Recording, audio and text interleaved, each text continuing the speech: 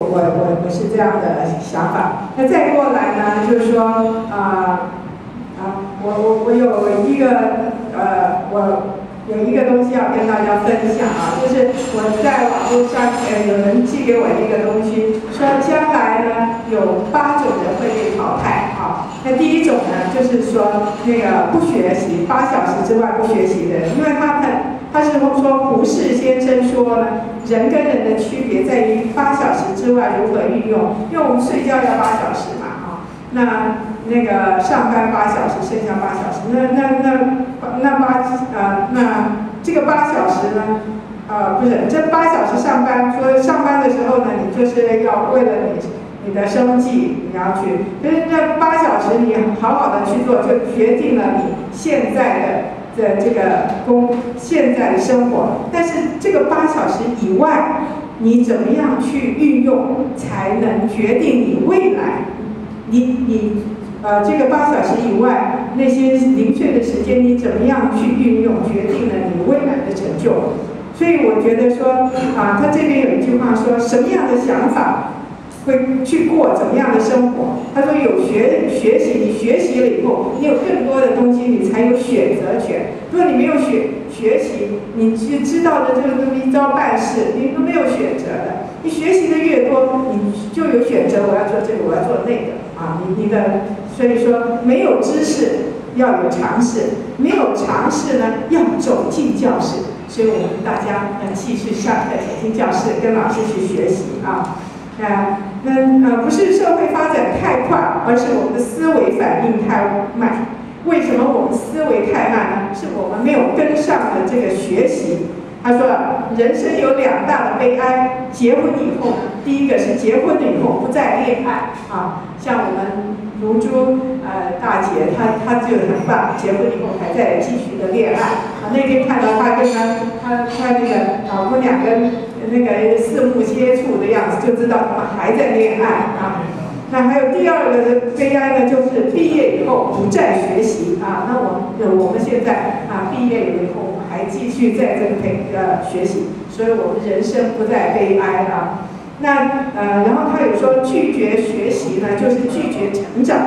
那如果说呃家长，我们做家长的不学习，就会被孩子看不起，并且跟孩子会代沟。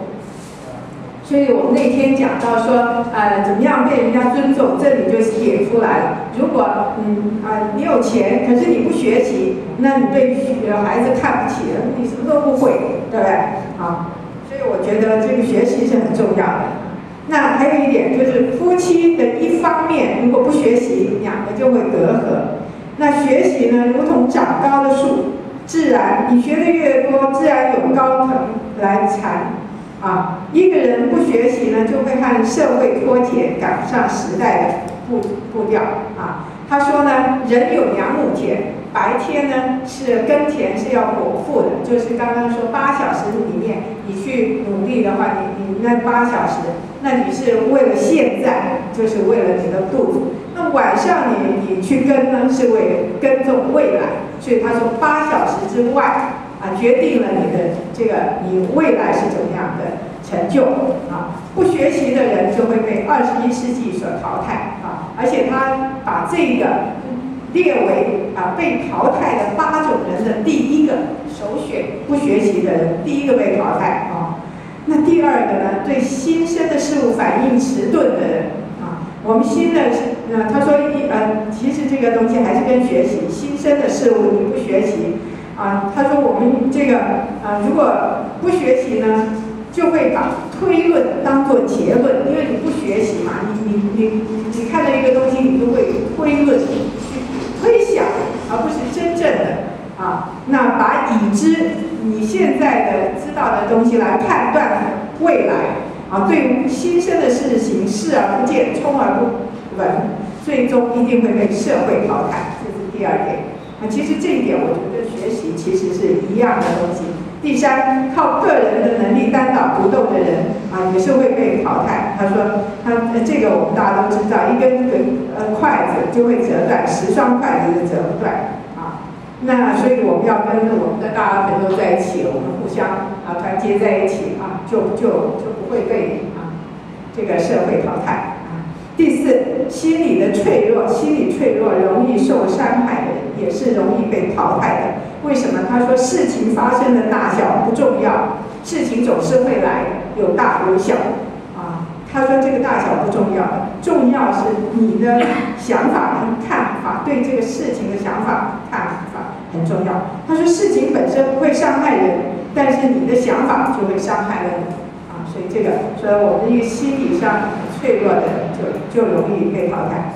第第五个就是技能单一、没有特长的人。”啊，那没有特长的也意思还是一样的，是学习嘛。现在是一个电脑时代啊，有人说啊，如果你啊以前我们不识字是文啊，现在不会电脑，现在被称就是文盲了。现在干什么啊？做个义工啊，都要用啊电脑去报名去去登录登录这个台班啊，所以没有会不会电脑就变成文盲。所以我们技能单一没有特长的就容易被淘汰，嗯，连做个志工都很困难啊。他说没有危机，一个人没有危机是最大的危机，因为有危机你才会去反应，才会学习新的东西。